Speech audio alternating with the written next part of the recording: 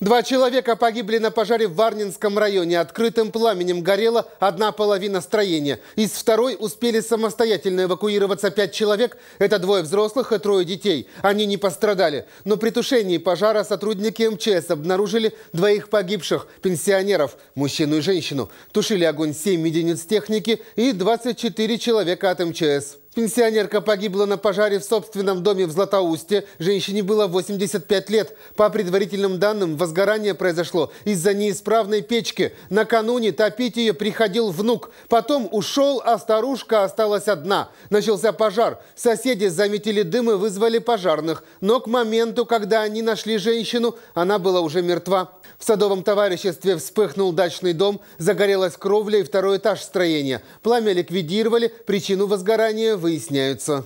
А в Челябинске загорелась квартира в многоэтажке по улице Комарова. В квартире на третьем этаже вспыхнули вещи, и огонь быстро распространился по комнате. Что стало причиной возгорания, сейчас выясняют сотрудники отделения дознания. На месте работали три машины и 12 человек личного состава. К счастью, пострадавших нет. А в поселке Подозерском сгорел участковый пункт полиции. По предварительным данным, причиной пожара стала неисправность проводки. Обошлось без пострадавших.